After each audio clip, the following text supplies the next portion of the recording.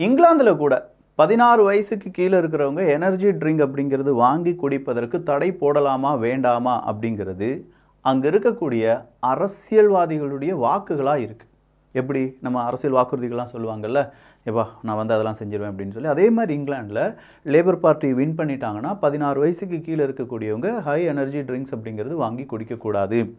நம்ம ஊர்லேயும் தேர்தல் நடந்திருக்கு எலெக்ஷன் ரிசல்ட்லாம் வந்துருச்சு அப்படிங்கிறது தெரியும். அதை விட ஒரு கொடுமையான விஷயம் ஜம்மு காஷ்மீரில் தீவிரவாத அட்டாக் அப்படிங்கிறது தான். இந்த தீவிரவாத செயல் அப்படிங்கிறத நம்ம கண்டிக்க வேண்டும். இந்த தீவிரவாதிகளுக்கு பதிலடி அப்படிங்கிறத இந்திய இராணுவம் கண்டிப்பாக கொடுக்கும் அப்படிங்கிறத நம்முடைய இந்திய இராணுவமும் உள்துறை அமைச்சகமும் வெளியுறவுத்துறை அமைச்சகமும் சேர்ந்து கொடுத்துருக்காங்க. சொல்லப்போனால் ஏதோ ஒரு காரணத்திற்கு திட்டம் போட்டவங்க அதுலேயும் அந்த டிரைவர்னுடைய அந்த ஒரு அந்த கொஞ்சம் அந்த இன்சிடெண்ட்டை வாசித்து பார்த்தபோது நெஞ்சத்தை அப்படியே அடைச்சிருச்சு அப்படின்னு சொல்லலாம். அந்த டிரைவருக்கு தலையிலேயே சுட்டிருக்காங்க. அது சுட பார்த்துருக்காங்க ஃபர்ஸ்ட் புல்லட் பட்டிருக்கு அந்த டிரைவர் மட்டும் அந்த இடத்துல நிப்பாட்டியிருந்தார்னா நிறைய பேரை கொண்டு இருப்பாங்களாம் அந்த தீவிரவாதிகள். அவர் வந்து ரொம்ப ஸ்ட்ரகிள் பண்ணி தான் வண்டி ஓட்டி ஒரு ஓரமாலாம் ஸோ கொண்டு போனனால தான் இவ்வளோ பேர் ஒரு பத்து பேர் கொண்டுட்டாங்க அப்படின்னு சொல்கிறத விட அவ்வளோ பேர் அவர் ரெஸ்கியூ பண்ணிவிட்டு அவர் இறந்துருக்கார் அப்படிங்கிற தகவல் தான் ரொம்ப உணர்ச்சிபூர்வமாக இருந்தது அப்படின்னு சொல்லலாம். ஒரு பேட்டில் அப்படிங்கிறத மறுபடியும் ஆரம்பிக்கிறாங்க. ஜம்மு அண்ட் காஷ்மீரில் உடனடியாக காங்கிரஸ் சொல்கிறாங்க இவ்வளோ நாள் ஜம்மு அண்ட் காஷ்மீரில் அமைதி நிலவுகிறது அப்படின்னு சொன்னதெல்லாம் பொய்யாயிருச்சு. இப்போ பாருங்கள் தீவிரவாத அட்டாக் நடந்துருச்சு அப்படின்னு சொல்லி. நாம் என்ன கேட்குறோன்னா இந்த தீவிரவாதிகளை அழிப்பதற்கு நமக்கு இத்தனை வருடங்கள் பிடித்திருக்கு. இவ்வளோ நாள் ஜம்மு அண்ட் காஷ்மீரில் பெரிய செய்திகள் எதுவும் கிடையாது. இதுதான் கடைசியாக வந்து ஒரு பெரிய செய்தி அப்படின்னு சொல்லலாம். தீவிரவாதத்தை பேஸ் பண்ணி. கிட்ட இருக்கக்கூடிய நாடுகளை பாருங்கள் பாகிஸ்தானில் என்றைக்குமே அங்கே தீவிரவாத பிரச்சனையாக ஓடிக்கிட்டே இருக்குது அப்படின்னு சொல்லலாம். அடுத்த பக்கம் ஆப்கானிஸ்தானில் சொல்லவே வேண்டாம் இப்படின்னு சொல்கிற பல செய்திகளுக்கு மத்தியில் இந்தியா அமைதியாகத்தான் இருந்தது. ஆனால் குறிவைக்கப்பட்டிருக்கிறது ஜம்மு காஷ்மீர் மறுபடியும். இதை உறுதியுடன் இந்தியா அழிக்க வேண்டும். தீவிரவாதிகளை அழிக்க வேண்டும். உடனே இதை இஸ்ரேல் ஹமாஸ் யுத்தம் கூட கனெக்ட் பண்ணி ஏண்டா இப்போ உங்கள் ஊரில் வந்து தீவிரவாதிகள் கொண்டுட்டாங்கல்ல இப்போ நீ என்ன சொல்கிற தீவிரவாதிகளை அழிக்கக்கூடாதுன்னு சொல்கிறியான்னு கேட்டால் அதே இஸ்ரேல்கிட்ட நான் சொல்கிறேன் இல்லாட்டி அதே நண்பர்கள்ட்ட சொல்கிறேன் தீவிரவாதிகளை அழிக்கலாம். தீவிரவாதிகளை அழிக்கிறோம் அப்படிங்கிற பெயரில் இனப்படுகொலை செய்யக்கூடாது அப்படிங்கிறது தான். ஒரு கலெக்டிவ் பனிஷ்மெண்ட் அப்படிங்கிறது இங்கே கட்டுப்படுத்தப்பட வேண்டும் என்பது மட்டும்தான் எங்களுடைய கொள்கையை தவிர தீவிரவாதத்தை வளர்க்க வேண்டும் அப்படிங்கிறது துளி அளவிலும் எங்களுக்கு அதில் நாட்டமே கிடையாது. ஏன்னா இந்தியர்களுக்கு தெரியும் தீவிரவாதம் எவ்வளவு பெரிய கேவலமான எவ்வளவு கொடுமையான ஒரு விஷயம். அதை அழிக்க வேண்டும் அப்படிங்கிறது ஒவ்வொரு இந்தியனுக்கும் தெரியும். தீவிரவாதத்துக்கு எதிராகவும் தீவிரவாதிகளுக்கு எதிராகவும் இந்தியா மட்டும் கிடையாதுங்க. இந்தியாவில் இருக்கக்கூடிய ஒவ்வொரு நபர்களும் ஒவ்வொரு ஒவ்வொரு ஈச் அண்ட் எவ்ரி ஹியூமன் பீங்ஸ்லேருந்து அங்கே இருக்கக்கூடிய லிவிங் பீங்ஸ் வரை யோசிப்பாங்க. அந்த அளவுக்கு இந்தியா தீவிரவாதிகளால் பாதிக்கப்பட்டிருக்கிறது. நம்மளே இவ்வளோ பாதிப்படைஞ்சிருக்கோன்னா தீவிரவாதத்தால் வேறொரு நாடு பாதிப்படையும் போதும் இதே ஒரு நிலைப்பாடு தான் எடுப்போம். ஆனால் தீவிரவாதத்தை ஆதரிக்கும் வகையில் இருக்கக்கூடிய நபர்கள் இருக்காங்க குழந்தைகள் இருக்காங்க அவங்களெல்லாம் நாங்கள் கொண்டுருவோம் அப்படின்னு சொல்கிறத அக்செப்ட் பண்ண முடியலை என்பது தான் மறுபடியும் மறுபடியும் நாம் எடுத்து வைக்கக்கூடிய வாதம். இதே மாதிரி இன்னும் பல செய்திகள் இருக்குது நான் உங்கள் விக்கி இது உங்கள் தமிழ் விதை ஷார்ட்டாக கொஞ்சம் செய்திகள். ஹண்டர் பைடன் அவர்களுடைய அந்த வழக்கு விசாரணை எஸ் அவர் தப்பு செஞ்சிருக்கார் அப்படின்னு சொல்லி உறுதியாகியிருக்கிறது. தவறு செஞ்சிருக்கார் அப்படிங்கிறது மட்டும் கிடையாது என்னென்ன தவறுகள் எப்படி எப்படி செஞ்சிருக்கார் அப்படின்னும் அந்த கன்னாக இருக்கட்டும் அதற்கு அவர் கொடுத்த அந்த போதைப் பொருளாக இருக்கட்டும் இப்படின்னு சொல்கிற பல பிரச்சனைகள் இப்போது ஹண்டர் பைடன் அவர்கள் தவறு செய்திருக்கிறார் அப்படிங்கிறத நிரூபணம் செய்திருக்கிறது. ஸோ இதனால் ஜோ பைடன் அவர்களுக்கு ஏதாவது பாதிப்புகள் இருக்கா? ஹண்டர் பைடன் அவர்கள் தப்பு செஞ்சிருக்கார் அப்படின்னு சொன்னோன்னே டொனால்டு ட்ரம்ப் அவர்களுக்கு ஏதாவது பாதிப்பு இருக்கா? இதனால் அமெரிக்க அரசியல் களம் எப்படி மாறப்போகிறது அப்படிங்கிறது ஒரு பெரிய டிஸ்கஷனாக இப்போ ஓடிட்டுருக்கு அப்படின்னு சொல்லலாம். அடுத்ததாக மலாவி வைஸ் பிரசிடென்ட் அவர்கள் தான்.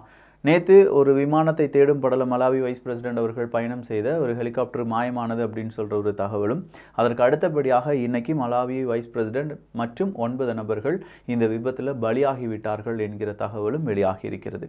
இப்போ தான் ஈரான் பக்கமாக இதே மாதிரியான ஒரு விபத்து ஏற்பட்டது அப்படின்னு சொல்லி பார்த்தோம். இப்போ மறுபடியும் மலாவிலையும் அதே மாதிரியான ஒரு விபத்து வைஸ் பிரசிடென்ட் முக்கியமான ஒரு நபர் இறந்திருக்கிறார் என்பதும் இந்த மலாவி அப்படின்னு சொல்லும்போதே அங்கே இருக்கக்கூடிய அரசியல் களத்தில் அடுத்ததாக பெரிய அளவு ஒரு மாற்றம் வர வாய்ப்புகள் இருப்பதாகவும் சொல்லப்படுகிறது. இஸ்ரேல் பாலஸ்தீனம். நீங்கள் இரண்டு பேருமே செய்வது ஏதோ ஒரு வகையில் ஒரு விதத்தில் மக்களை இனப்படுகொலை தான் செஞ்சிட்ருக்கீங்க. அந்த பக்கமாக பாலஸ்தீனத்துக்கு ஆதரவாக இருக்கக்கூடிய ஹமாஸும் இந்த பக்கமாக இஸ்ரேலினுடைய ஐடிஎஃப்பும் சேர்ந்து செய்வது வார் கிரைம் தான். நிறைய வார் கிரைமை நீங்கள் மாற்றி மாற்றி செஞ்சிட்ருக்கீங்க. ஆனால் என்ன ஒருவர் மீது இன்னொருவர் மாற்றி மாற்றி குற்றம் சுமத்தி கொண்டிருக்கிறீர்கள். அதை சுலபமாக செஞ்சுட்டு போயிட்டே இருக்கீங்க அப்படின்னு சொல்கிற ஒரு வாணிங்க ஐநா சபை இன்று கொடுத்திருக்கிறது. அடுத்ததாக அமெரிக்காவினுடைய அந்த பீஸ் பிளான் இருக்குது பார்த்தீங்களா நெத்தன்யாகு அவர்கள் அந்த சீஸ்ஃபயருக்கு உடன்பட்டு இருப்பதாகவும் சீக்கிரமாக ஒரு சீஸ்ஃபயர் தற்காலிக போர் நிறுத்தம் அப்படிங்கிறது மட்டும் உருவாகும். ஒட்டுமொத்தமாக பீஸ் பிளான் அப்படிங்கிறது உருவாகிறதுக்கு காலங்கள் எடுக்கலாம் அப்படின்னு சொல்லியிருக்காங்க. ஸோ சீஸ்ஃபயர் அப்படிங்கிறது நடைபெறுவதற்கான வாய்ப்புகள் இருக்குன்னு சொல்லி அமெரிக்கா நம்பிக்கையை தெரிவித்திருக்கிறது. அடுத்ததாக ஒரு மைக்ரண்ட் போட் அப்படிங்கிறது ஏமன் பக்கம் மூழ்கியதில் நூற்றி நாற்பது பேர் மிஸ் ஆயிட்டாங்க நாற்பத்தி ஒன்பது பேர் இறந்திருக்காங்க அப்படிங்கிற தகவல் வெளியாகி இருக்கிறது ஒரு குட்டி போட்டில் இரநூறுக்கும் அதிகமான மனிதர்கள் வந்திருக்காங்க. அதில் நாற்பது பேர் இறந்துட்டாங்க நூற்றி நாற்பத்தொம்பது பேர் காணவில்லை அப்படின்னு சொல்லியிருக்காங்க. சரி அப்போ எத்தனை பேர் உயிர் பிழைத்தார்கள் அப்படிங்கிறது மட்டும்தான் இப்போ இருக்கக்கூடிய கேள்வி. இந்த நூற்றி நாற்பத்தொம்போது பேர் காணவில்லை அப்படின்னு சொல்லும்போது கொஞ்சம் யோசிச்சு பாருங்கள் கடலுக்குள்ளே காணாமல் போயிருக்காங்க அப்படின்னு சொல்லும்போது எந்த விதமான சேஃப்டி எக்யூப்மெண்ட்ஸும் கிடையாது. அவங்கள காப்பாற்றுறதுக்கு இன்டர்நேஷ்னல் ஃபோர்ஸ் போக போகிறதும் கிடையாது. அவங்களுடைய நிலைமையை நினைத்தால் கொஞ்சம் கஷ்டம்தான். ஜெலன்ஸ்கி அவர்கள் ஏர் டிஃபென்ஸ்க்காக எங்களுக்கு கண்டிப்பாக ஏர் டிஃபென்ஸ் வேண்டும். ஏர் டிஃபென்ஸ் இல்லாமல் எங்களால் எதுவுமே செய்ய முடியாது. ரஷ்யாவை கட்டுப்படுத்த முடியாது அப்படிங்கிற தகவலை மறுபடியும் மறுபடியும் சொல்லியிருக்காங்க. உக்ரைன் ரிக்கவரி சுமிட் அப்படிங்கிறது ஒன்று நடக்குது. இந்த உக்ரைன் ரிக்கவரி அமைப்பு இந்த கூட்டத்தில் தான் ஜெலன்ஸ்கி அவர்கள் இந்த கோரிக்கையை வச்சுருக்காங்க. இந்த கோரிக்கை மட்டும் கிடையாது. ரஷ்யாவினுடைய அடுத்தடுத்த காய் நகர்வு உக்ரைனுக்கு பெரிய ஒரு பின்னடைவாக இருக்கலாம். உடனடியாக உக்ரைனுக்கு உதவி செய்ய வேண்டும் அப்படிங்கிற ஒரு கோரிக்கையும் வச்சுருக்காங்க. ஜெர்மனியினுடைய ஸ்கோல்ஸ் அவர்கள் கூடயும் பிரான்சினுடைய மேக்ரோன் அவர்கள் கூடயும் இதே ஜெலன்ஸ்கி அவர்கள் பேசிக்கொண்டார் என்கிற தகவலும் வெளியாகியிருக்கிறது. ஆல்ரெடி ஜெர்மனி ரஷ்யாவுக்கு ஒரு வார்னிங் கொடுத்துருந்தாங்க. நீங்கள் எங்கள் நாட்டுக்குள்ளே வந்தால் பிரச்சனை கிடையாது. ஆனால் நேட்டோக்குள்ளே வந்தீங்கன்னா பிரச்சனை. நேட்டோவினுடைய ஒவ்வொரு ஸ்கொயர் இன்ச்சையும் நாங்கள் பாதுகாப்போம் அப்படின்னு சொல்லியிருந்தாங்க. So NATO versus Russia. அதற்குள் ஒளிந்து கொண்டு உக்ரைன் அவங்களுடைய காய் நகரத்தில் செய்து வருகிறார்கள். அடுத்ததாக ஆர்டிஃபிஷியல் இன்டெலிஜென்ஸ் கேள்விப்பட்டிருக்கோம். புதுசாக ஒரு டேர்மை குறித்து வச்சுக்கோங்க. ஆப்பிள் இன்டெலிஜென்ஸ் அப்படிங்கிறது தான். இந்த ஆப்பிள் இன்டெலிஜென்ஸை நாங்கள் அறிமுகம் செய்ய போகிறோம் என்று ஆப்பிள் நிறுவனம் அறிவித்திருக்கிறார்கள். அவங்களுடைய டபிள்யூடபிள்யூடிசியில் தான். வேர்ல்டு முழுவதுமாக மறுபடியும் ஒரு ஆப்பிளுக்கு ஹைப் ஒன்று உருவாகிறதுக்காக இது உருவாக்கப்பட்டிருக்கலாம் அப்படின்னு சொல்லப்படுது. ஆனால் அதே வேளையில் என்னென்ன விஷயங்கள் இந்த ஆப்பிள் இன்டெலிஜென்ஸ் அப்படிங்கிறது செய்யும்? குறிப்பாக ஓப்பன் ஏலாம் உள்ளே கொண்டு வந்திருக்காங்க அப்படின்னு சொல்லும்போது எலன் மஸ்க் அவர்கள் கோபத்தில் இருக்கிறதுக்கு வாய்ப்புகள் இருக்குது ஏன்னா ஓப்பன் ஏக்கும் எலன் மஸ்க் அவர்களுக்கும் ஆகாது பார்த்தீங்களா ஸோ இதெல்லாம் கவனித்த ஆப்பிள் கொஞ்சம் கொஞ்சமாக அவங்களுடைய ஒட்டுமொத்தமான ஃபோனையும் இனி வரக்கூடிய ஃபோன் எல்லாத்தையுமே ஆப்பிள் இன்டெலிஜென்ஸ் உள்ளடக்கி ஒரு ஃபோனாக மாற்ற ட்ரை பண்ணிகிட்ருக்காங்க நிறைய விஷயங்கள் அதில் அந்த டபிள்யூடபிள்யூடிசி நீங்கள் பார்த்துருந்தீங்கன்னா தெரியும். ஃபார்முலாவாக இருக்கட்டும் சின்ன சின்ன கேல்குலேஷன்ஸாக இருக்கட்டும் பெரிய சயின்டிஃபிக் கேல்குலேஷனாக இருக்கட்டும் இதெல்லாம் ஜஸ்ட் சிங்கிள் செகண்ட்ஸில் அதெல்லாம் செஞ்சு முடிச்சிருது அப்படின்னு சொல்லி அந்த வீடியோவை பதிவு பண்ணியிருந்தாங்க. நிறைய விஷயங்கள் கொண்டு வந்திருக்காங்க.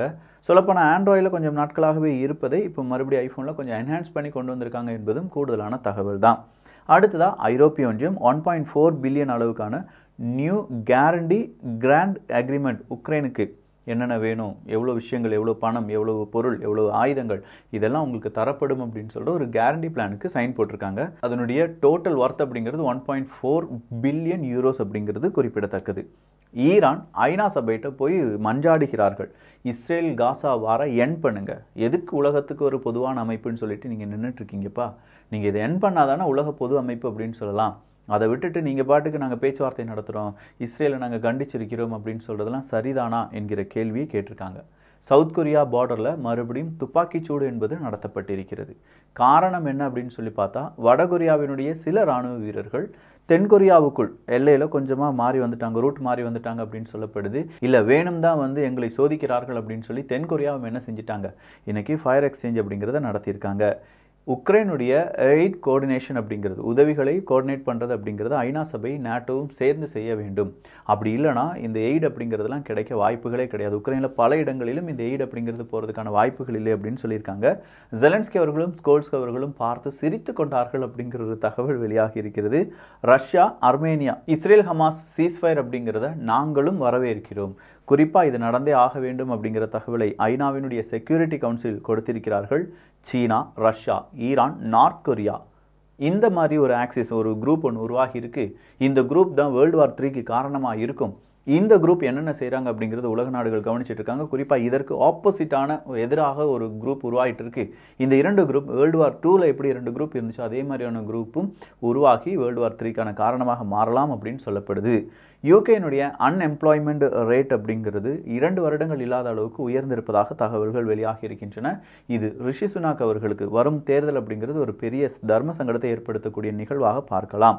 நியோ நாசிஸினுடைய அந்த அசோ பிரிகேட் அப்படின்னு இருக்குல்ல அந்த பிரிகேடுக்கு போடப்பட்டிருந்த தடையை அமெரிக்கா இன்னைக்கு என்ன செஞ்சிருக்காங்க? நீக்கியிருக்கிறார்கள். தாலிபன்கள் பாகிஸ்தான் ஈரான் போன்ற நாடுகள் இருந்து கிட்டத்தட்ட நான்கு லட்சம் ஆப்கானிஸ்தானை சார்ந்தவர்கள் அந்தந்த நாட்டிலிருந்து திரும்ப ஆப்கானிஸ்தானுக்கு அனுப்பப்பட்டிருக்கிறார்கள் என்கிற தகவலை கொடுத்திருக்கிறார்கள். நான்கு லட்சம் ஆப்கானிஸ்தியர்கள் பாகிஸ்தான்லையும் ஈரான்லையும் வாழ்ந்துட்டு இருந்தவங்க கூண்டோடு எங்கே காலி பண்ணியிருக்காங்க? நீங்கள் மறுபடியும் ஆப்கானிஸ்தானுக்கே போங்க. எங்கள் நாட்டுக்குள்ளே வராதீங்க அப்படின்னு சொல்லி திரும்ப என்ன செஞ்சுருக்காங்க? அனுப்பியிருக்காங்க என்கிற தகவல் தான். அடுத்ததாக யூரோப் தான்.